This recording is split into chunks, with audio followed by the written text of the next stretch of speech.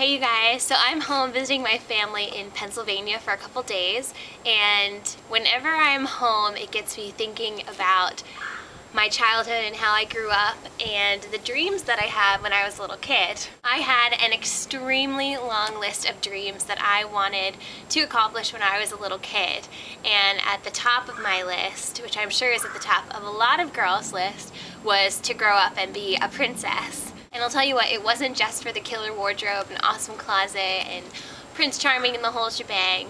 The thing with being a princess is you get to live a life of complete adventure. If you look at all the Disney movies, every single one of those girls lived a life of complete adventure and she sought adventure and she wanted it and they went after it with their whole hearts and souls.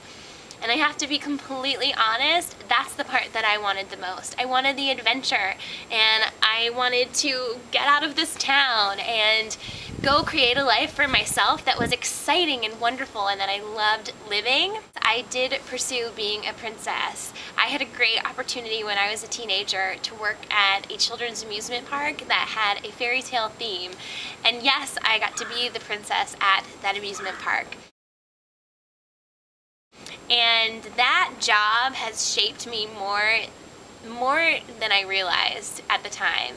I look back now and realize that that job shaped me into exactly who I am today. The process of pursuing your childhood dreams is what's really going to change you and what's really going to matter. I fully believe there is such great value in pursuing your childhood dreams because our hearts and our spirits know more about ourselves than our conscious minds let on.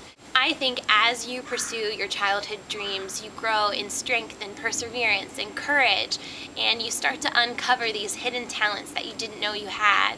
And that's what happened to me when I pursued this job as a princess. It uncovered hidden talents and passions that I hardly knew existed. Had I not pursued that, I never would have known that. It is one of the most thrilling, fulfilling things I have ever done and ever experienced. And that feeling is so empowering and that's what pushes me to continue pursuing my dreams, to continue setting really big goals for myself and tackling them with everything that I am. So do all dreams come true? I think yes.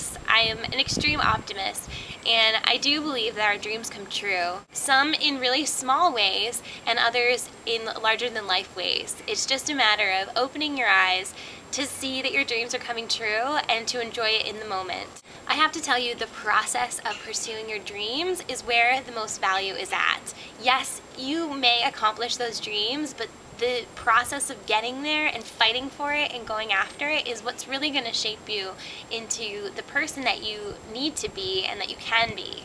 Let's get down to it. What childhood dreams have you left untouched in your life? Here's what I want you to do.